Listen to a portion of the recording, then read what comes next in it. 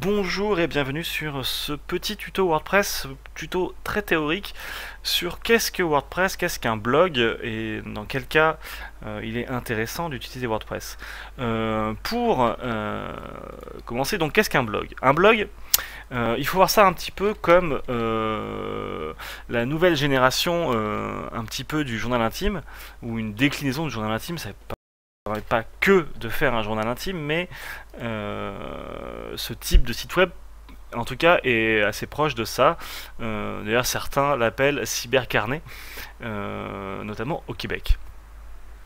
Donc, en fait, le blog permet de publier des messages qui seront affichés par défaut de façon, chrono de façon chronologique, enfin l'inverse de chronologique, je ne connais plus le mot.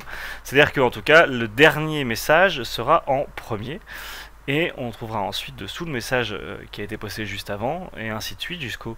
Et donc le votre tout premier message sur WordPress sera euh, le dernier affiché. c'est déjà le principe d'un blog, c'est ça. Euh, donc ça permet plusieurs choses. Ça permet un journal intime euh, entre guillemets, entre guillemets parce qu'il n'est pas intime vu qu'il est posté en ligne, donc il est accessible à tout le monde.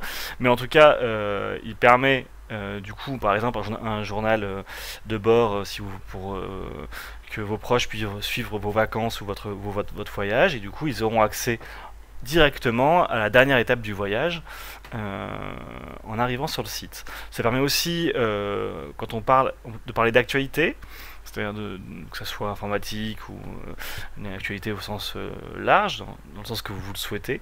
Et donc, il va permettre euh, de poster les, vos, trouvailles ou votre actualité personnelle de votre entreprise ou en tout cas de votre activité. Et du coup, les gens auront, voilà, c'est l'important qu'il faut bien saisir, c'est qu'un blog, c'est fait pour afficher de façon chronologique inversée vos vos, infos. Donc toujours, il y aura en, dernier la dernière chose, la dernière actualité, le dernier post que vous avez créé, le dernier article pour reprendre le terme utilisé maintenant par WordPress. Donc voilà, je trouve que euh, malgré que WordPress permet aussi de créer des pages histoire euh, de rassembler dans un endroit unique et, facilement accessible une info et qui elle euh, sera dans un, menu, il ne bougera jamais. ce qui est un contenu un peu plus classique d'un autre type de site web, je vous conseille quand même d'utiliser WordPress principalement quand vous voulez réaliser un blog et et que le contenu que vous voulez donner à vos utilisateurs va dans ce sens-là. Voilà.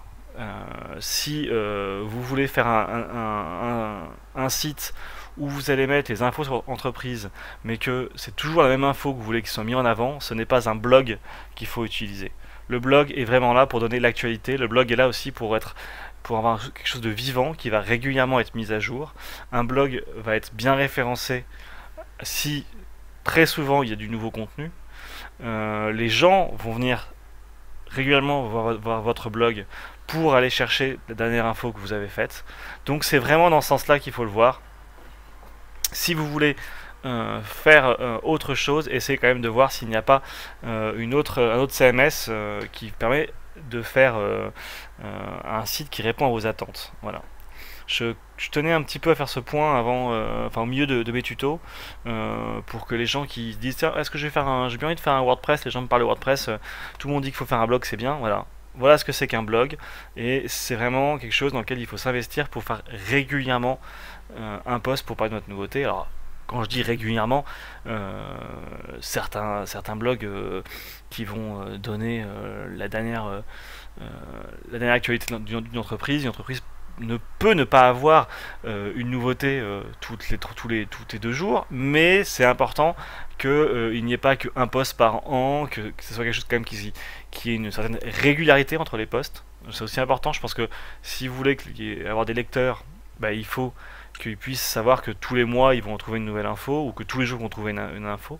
Mais vous allez perdre vos lecteurs si ils viennent et qu'ils ont une, info tous les jours et puis qu'après pendant, pendant, euh, pendant un mois ils ont plus d'infos, bah, ils vont euh, se dire bon bah zut c'est plus mis à jour et ils vont, ils vont oublier d'y retourner.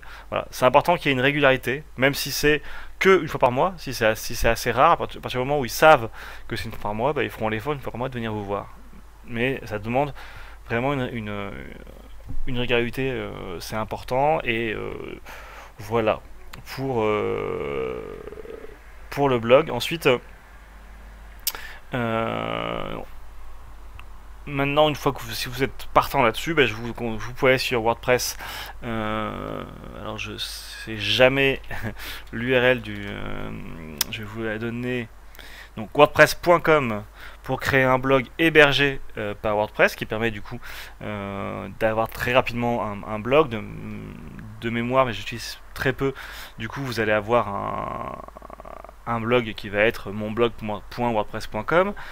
Euh, ou alors de l'héberger sur, votre, euh, sur un hébergement mutualisé, histoire d'avoir un nom de domaine à vous, d'avoir vos fichiers qui sont sur votre serveur et de pouvoir euh, avoir une plus grande marge de liberté. voilà. Bon, après, bon courage et si vous avez des questions, n'hésitez pas à les poster en commentaire de cette vidéo. J'hésiterai pas à